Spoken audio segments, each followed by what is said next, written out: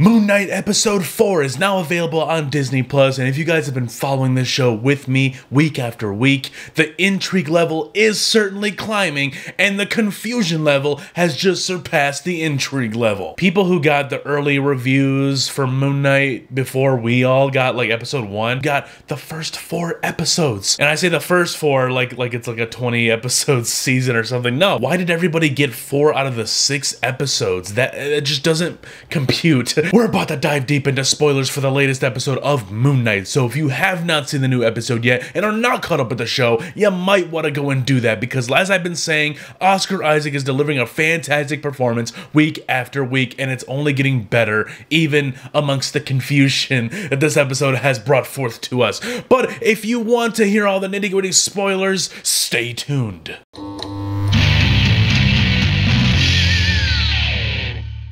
What's up, everybody? Welcome back to the HEZ Project. I'm Jon Ortolaza, and today we're talking spoilers for the latest episode of Moon Knight, Episode 4 The Tomb.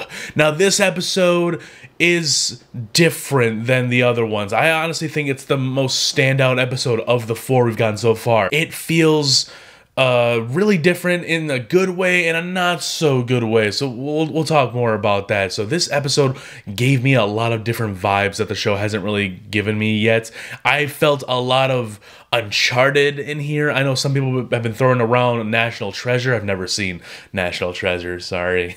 but it gave me a real vibe of this adventure into a deep, dark tomb. It, it felt like Indiana Jones to an extent, with some Uncharted for sure. And the thing that's not so good about this episode is okay, so y'all know I love me some Moon Knight. That that costume is dope. I love to see the costume in action. I loved how the last episode gave us the most Moon Knight action out of the three that we had last week. This episode takes a massive backseat to the action and to Moon Knight. Moon Knight's not even in this episode. Um, T- technically he is, but we'll get to that later. But essentially, no, no Oscar Isaac suiting up in Moon Knight, no Moon Knight throwing down with baddies in this episode. We got that in the last episode, and now we're taking a backseat. We're doing this tomb raiding or tomb busting. While I was disappointed that we got less Moon Knight and less action in this episode, we didn't really build off of the momentum of the last episode, in my opinion. It does give me quite a bit of excitement excitement and enjoyment in this one. I love tomb raiding. I, I love when people go into tombs. I love exploring the unknown, going deeper and deeper into a tomb that you have no idea what's waiting for you on the other side.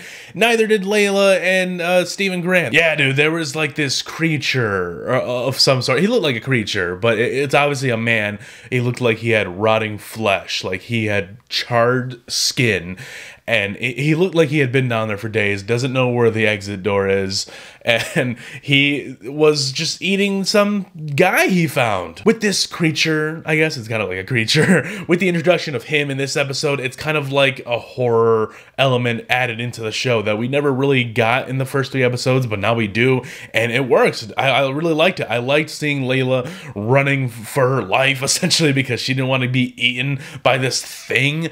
And she's going across this very steep cliff top, whatever the hell it's called, like cliff ledge, where she's got. You know, we've done this all the time in the Tomb Raider games and the Uncharted games.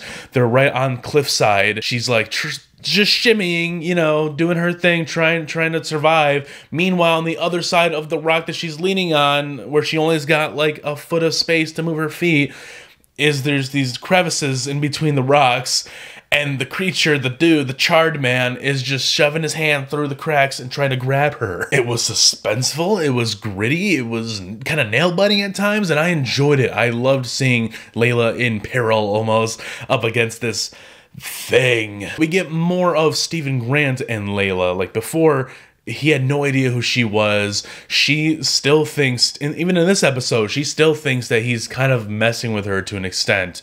And I, I like it though. I like that we're slowly getting this relationship built between the two. Steven is obviously a more kind hearted person, so it's a much different dynamic than what we can expect with uh, Mark and Layla, which they don't really show us a lot of. We got some of that in the last episode, but um, they're married, of course, so they obviously love each other. But you can tell that they butt heads a lot. I will say I am kind of struggling to grasp like the importance importance of Ethan Hawke's character. I, I still don't remember his name; it just keeps flying over my head. But I I really enjoy his acting. I think he's really good in this suspenseful man of mystery type role. I feel like every time he's on screen, he's there to serve as some sort of exposition and especially in this episode, we get him explaining the backstory a little bit of Layla's father and how he died and who potentially is responsible for that. He kind of leads her to believe that Mark Spector is the one responsible for the death of her father. I think it was before this scene where Layla confronted him. Steven had his arm elbow deep into the throat of the mummified body of Alexander the Great. Yeah, that that was a sentence that I just said. That's the type of stuff that I find disturbingly thrilling in these kind of concepts of like tomb raiding, going into a tomb of old ancient stuff. Like it's Wow. We gotta remember in the last episode, the Egyptian gods, they imprisoned Khonshu, so now Steven Grant and Mark Spector do not have the powers of Moon Knight or summon the powers of Khonshu or whatever the terminology is. They're just an ill person with dissociative identity disorder. Ethan Hawke remembered that and then shot him point blank twice. One for Steven, one for Mark, and he fell into a pool right behind the tomb where he throated uh, Alexander the Great, and then it goes to black.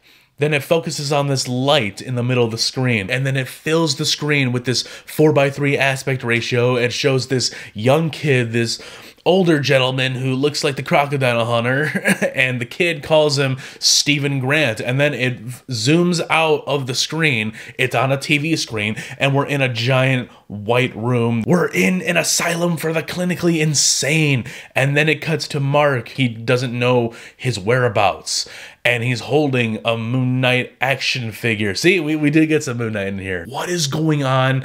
I need answers. Is any of this real? Layla walks by. She's not Layla, apparently. I don't know. Maybe her name is still Layla, but she's a, a, a, doctor or a nurse that works here. Ethan Hawke's apparently the the doctor in charge at this insane asylum, and he's trying to explain to Steven or to Mark, I should say, that Mark is sick. And Mark's flipping out, dude. He eventually runs out of the room, finds another room, locks the door behind him, and there's a tomb sitting in the room. Out comes another another him, like a clone of him. This is not Fallen Kingdom, no, but no, it, another Oscar Isaac comes out of this tomb, and it's Steven Grant.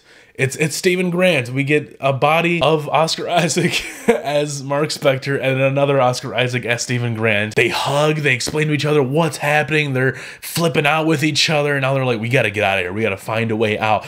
As they make their way out of the room, they walk past another room that's got this tomb sitting upright and it's shaking.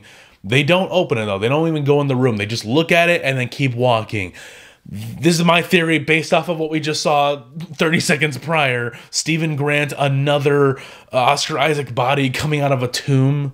Uh, th- that third one has got to be the third personality, the third person that's been in control. Because we've seen someone uh, take control as Mark Spector blacked out in the last episode, and it wasn't Steven Grant. So this is further proof that that's probably this Jake Lockley guy.